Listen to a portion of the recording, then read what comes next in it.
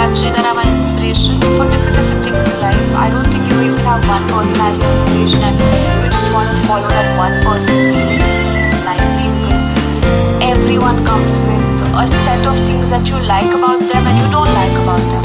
So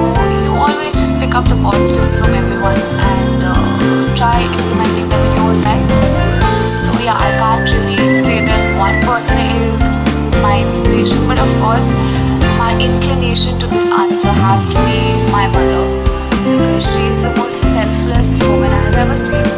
Always so giving, always so helpful, you know. Uh, expects so little in return, just so little in return that it's. I wonder if I could ever be like her. She's just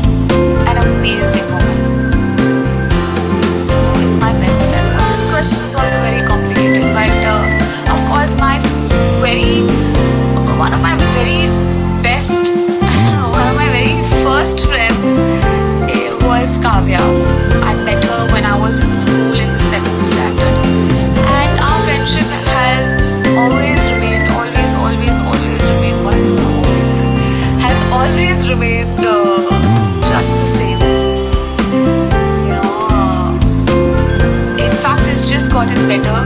It's not like we don't fight and we don't have our differences. We fight a lot. We fight like sisters, and uh, we love like sisters as well. So it's not just a name that is D'Souza, D'Souza, but